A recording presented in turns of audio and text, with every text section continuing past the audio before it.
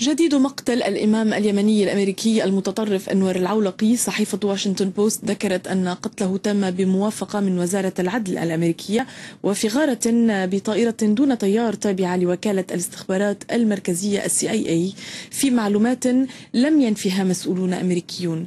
البيت الأبيض رفض كشف تفاصيل عن العملية التي جرت بسرية تامة فيما أثارت هذه العملية جدلا واسعا في الولايات المتحدة حول شرعيتها.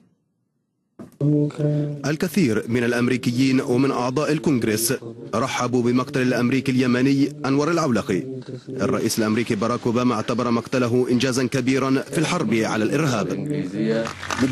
إن موت أنور العولقي يمثل ضربة شديدة لتنظيم القاعدة وعلامة فارقة في سجل هزيمتها والمرتبطين بها. العولقي هو قائد العمليات الخارجية في شبه الجزيرة العربية وبهذا لعب دورا قياديا في تخطيط وتوجيه الجهود لقتل الأمريكيين المصريين الأبرياء.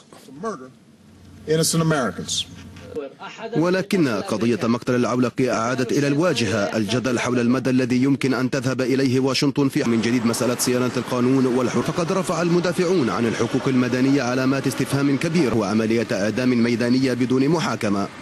المركز الإسلامي في فرجينيا ندد باغتيالا خارج نطاق القضاء. قالت فيها إنه من غير الدستوري أن تأمر وكالة الاستخفية بقتل مواطن أمريكي من دون مواطن أمريكي يدرج على لائحة وكالة المرهم. المجد مهلة لمدة يومين للمدنيين في مدينة سرت قبل قناصة القذهب في المدينة. هشام خضراوي قال إن السكان